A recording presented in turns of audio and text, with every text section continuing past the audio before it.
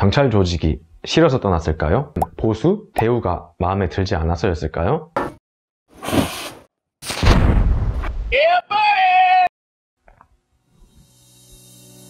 안녕하세요. 건강하게 운동하자 알약TV입니다. 오늘은 운동 컨텐츠 외에 제 인생 썰에 대해서 잠시 들려드리고자 합니다. 제 지인들은 수백 번 했던 질문이에요.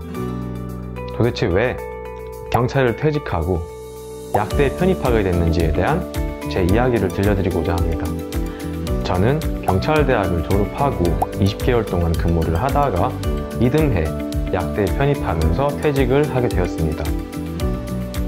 경찰 조직이 싫어서 떠났을까요? 아닙니다. 제게 대학 4년은 굉장히 좋은 추억으로 남아있고 첫 직장 또한 좋은 분들과 함께 근무를 해서 그런지 아직까지도 경찰에 대한 애정이 남다르게 있습니다. 그렇다면 보수, 대우가 마음에 들지 않아서였을까요? 아닙니다. 경이라는 직책은 제게 과분할 정도로 높은 직책이었고 이는 제가 약대 입학을 하게 된 계기가 전혀 아니었습니다. 그럼 어떤 이유가 있었을까요? 그것은 바로 제 주체적인 삶을 살고 싶었기 때문입니다. 초중고 시절에 저는 학교에 짜여진 틀에 맞춰서 공부를 했었고 제가 어떤 일을 좋아하는지 잘하는지에 대한 고민이 전혀 없었습니다. 경찰대학을 진학한 이유도 직업적인 고민보다는 대학이 매력적이고 마음에 들었기 때문입니다. 대학에 입학한 직후 저는 헬스를 처음 접하게 되었고 24살 때 소위 말하는 헬창이 되었습니다. 당시에는 유튜브나 관련 서적이 별로 없었기 때문에 저는 생리학, 영양학 등의 지식을 스스로 공부하면서 어쩌다 보니 약학으로까지 관심이 이어지게 되었습니다. 그리고 직장 생활을 하면서 느꼈습니다.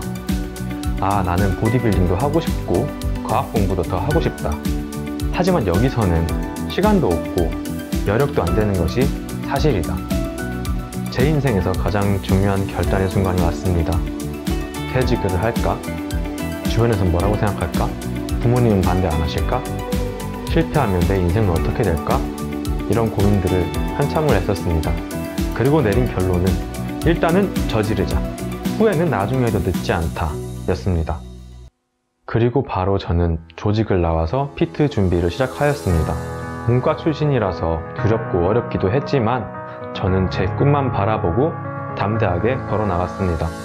덕분에 1년 만에 약학대학에 입학할 수 있었습니다. 약대에 입학한 이후 저는 제 꿈을 차근차근 실천해 나가고 있습니다.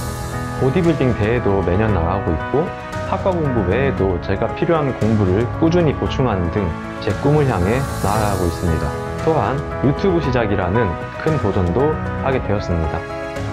앞으로 제게 어떤 일이 있을지 또 어떤 결정을 하게 될지 저도 모르겠습니다. 하지만 그런 순간이 오게 되더라도 저는 일단 저지르자. 후회는 나중에 해도 늦지 않으니까 라는 생각으로 인생을 살아가게 될 것 같습니다. 여러분들에게 행복은 어떤 것인가요? 각자 생각은 다르겠지만 제 생각에 자신이 자신의 인생의 주인공이 되는 것으로부터 행복은 시작된다고 생각합니다. 여러분, 두려워하지 마시고 눈치 보지 마시고 도전해 보세요. 꿈을 향해 나아가는 과정 자체에서 행복이 찾아올 것입니다. 지금까지 알약TV였습니다. 감사합니다.